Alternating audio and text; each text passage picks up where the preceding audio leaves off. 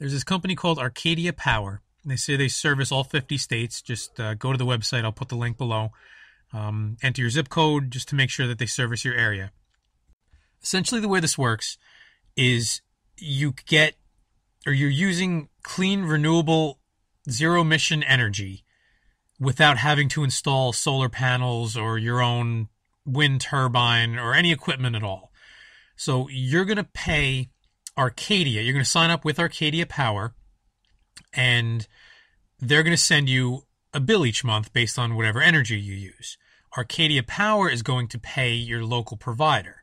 So they don't Arcadia Power doesn't provide the energy. It's not like you're going to switch to their company and then they're going to hook up a line to your house. No, whatever electricity company you're using now, they're still going to provide you energy.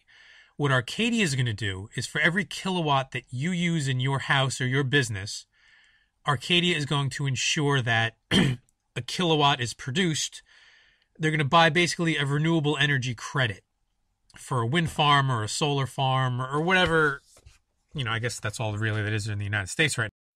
So a solar farm or a wind farm is going to get more demand, right? Basically, you're just they're increasing the demand for renewable energy, which should in turn lower the cost down the line because there's more people signing up for renewable energy, more people getting their energy from these clean alternatives. So Arcadia is just acting as the middleman, making sure that your monthly bill instead of going to the coal plant or the nuclear plant or whatever, is going to go to a renewable energy source. So it's just increasing demand in the marketplace. And they charge, it's uh, one and a half cents per kilowatt hour that you use, um, which for the average utility bill breaks down to like $14 a month. So, I mean, it's not nothing. I mean, over a year, that will be about $170 extra per month for the year that you would be paying.